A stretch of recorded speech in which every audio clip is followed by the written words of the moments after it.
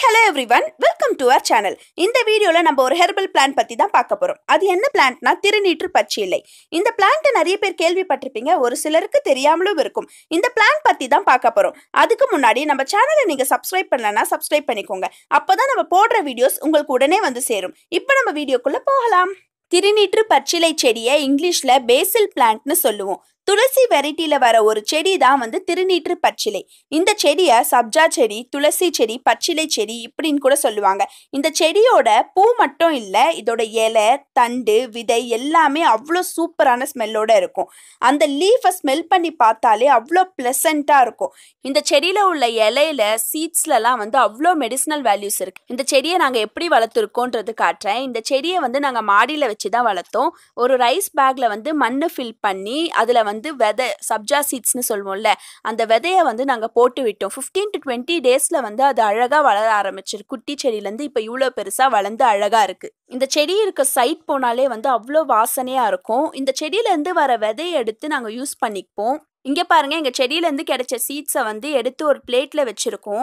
நம்ம வந்து செடியிலேருந்து பெருக்கும் போது அந்த சீட்ஸ் எப்படி இருக்கணும் ரொம்ப காஞ்சி இருக்கணும் அப்போ தான் வந்து நம்மளுக்கு சீக்கிரமாக அந்த சப்ஜா சீட்ஸ் கிடைக்கும். அதுலேருந்து எடுத்து நான் ஒரு பிளேட்டில் வச்சுருக்கோம். இப்படி தான் நீட்டு நீட்டாக இருக்கும் இந்த சீட்ஸு ரொம்ப காஞ்சி இருக்குது பாருங்கள் இப்போ வந்து இந்த சீட்ஸை வந்து நம்ம எடுத்து எப்படி வந்து அதுலேருந்து சப்ஜா சீட்ஸ் கொண்டு வரலான்னா இது கொஞ்சம் எடுத்து அப்படியே கசக்குனாலே அந்த தொழும்பெல்லாம் போயிடும். அந்த சப்ஜா சீட்ஸ் மட்டும் இருக்கும். அதை வந்து நாங்கள் ஒரு பவுலில் போட்டு வச்சுப்போம் நாங்கள் எடுத்து வச்சிருக்க சீட்ஸை வந்து எப்பயாவது எங்கள் வீட்டில் ஜூஸ் போட்டாங்கன்னா இல்லைனா ஏதாவது டிஷ்ஷஸ் ஃபலூடா இந்த மாதிரி ஏதாவது செஞ்சாங்கன்னா இல்லைனா வந்து ரொம்ப ஹீட்டாக இருக்குது பாடி அப்படின்னா வந்து வாட்டரில் கலந்து நாங்கள் குடிப்போம். நீங்களும் இந்த செடியை வீட்டிலே ஈஸியாக வளர்க்கலாம். உங்ககிட்ட ஏதாவது பாட் இருந்தாலும் சரி இல்லைனா வந்து ஏதாவது பிளாஸ்டிக் பேக் ரைஸ் எல்லாம் வாங்குவோம்ல அந்த மாதிரி பிளாஸ்டிக் பேக் இருந்தாலும் சரி அதில் வந்து நம்ம வந்து மண் போட்டுட்டு சப்ஜா சீட்ஸ் வந்து கடையில் விற்கும். அது வாங்கிட்டு ஒரு த்ரீ டு ஃபோர் சீட்ஸாக போட்டு ஈரமான மண்ணில் விட்டாலே வந்து நல்லா ஃபிஃப்டீன் டு டுவெண்ட்டி டேஸில் வந்து செடி வளர்ந்துரும். அதுக்கப்புறம் வந்து இன்னும் கொஞ்ச நாள் விட்டிங்கன்னா நல்லா தலை தலைன்னு வளர ஆரம்பிச்சிடும் இந்த செடி. இந்த செடி ஓரளவுக்கு வளர்ந்துட்ட பிறகு ஃபஸ்ட்டு இதுலேருந்து பூ வரும் அதுக்கப்புறம் வந்து சீட்ஸ் அதாவது விதை அதெல்லாம் வந்து வர ஆரம்பிக்கும். அதை வந்து நம்ம எடுத்து வச்சு நம்ம யூஸ் பண்ணிக்கலாம்.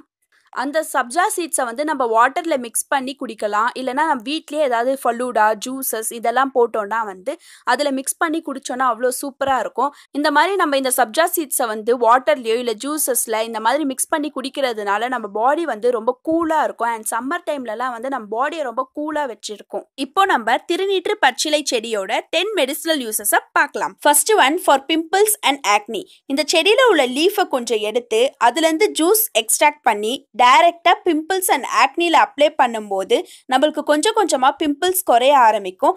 ஆக்னியும் வந்து கொஞ்சம் கொஞ்சமாக லைட்டன் ஆகி ரெடியூஸ் ஆக ஆரம்பிச்சிடும். செகண்ட் இயர் இன்ஃபெக்ஷன் நமக்கு ஏற்படுற காது வலி இல்லைனா காதில் ஏதாவது இன்ஃபெக்ஷன் அந்த மாதிரி ப்ராப்ளம்க்கு இந்த லீஃப்லேருந்து எக்ஸ்ட்ராக்ட் பண்ண ஜூஸை ஒரு ட்ராப் விட்டோம்னா கொஞ்சம் கொஞ்சமாக பெயின் கம்மியாக ஆரம்பிக்கும். இந்த மாதிரி ஒரு நாளைக்கு டூ டைம்ஸ் ஒன் ட்ராப் வந்து ஒரு டைம்க்கு அந்த மாதிரி டூ டைம்ஸ் யூஸ் பண்ணோம்னா இயர் இன்ஃபெக்ஷன்லாம் வந்து கொஞ்சம் கொஞ்சமாக சரியாகும். தேர்ட் ஃபார் மவுத் அல்சரா இந்த செடியில் உள்ள ஃப்ரெஷ்ஷான லீஃபை எடுத்து வாஷ் பண்ணிட்டு கொஞ்ச நேரம் போட்டு மென்னோம் அப்படின்னா வந்து வாயில் ஏற்படுற புண்ணு அதாவது அல்சர் மவுத் அல்சர்னு சொல்லுவோம் அதெல்லாம் வந்து கொஞ்சம் கொஞ்சமாக சரியாக ஆரம்பிக்கும். ஃபோர்த் வாமிட்டிங் இந்த லீஃபில் உள்ள ஜூஸை எக்ஸ்ட்ராக்ட் பண்ணி நம்ம ஹாட் வாட்டரில் மிக்ஸ் பண்ணி குடிக்கலாம். இல்லைனா வந்து டீல டீ மாதிரி மேக் பண்ணி குடிக்கலாம். அந்த மாதிரி குடிக்கிறதுனால வாமிட்டிங் வந்து கண்ட்ரோல் ஆகும். ஃபிஃப்த் இன்செக்ட்ஸ் பைட் ஏதாவது ஒரு பூச்சி கடிச்சிருந்துச்சுன்னா அந்த இடம் ரெட்னஸ் ஆயிருக்கும். அந்த டைம்ல இந்த லீஃப் எடுத்து நம்ம கொஞ்சம் கசக்கி அதுலேருந்து வர ஜூஸை வந்து நம்ம அங்கே போட்டோம் அப்படின்னா வந்து ஒரு ஃபர்ஸ்ட் எய்டாக இருக்கும் ரொம்ப எஃபெக்டிவாகவும் இருக்கும். Sixth for hair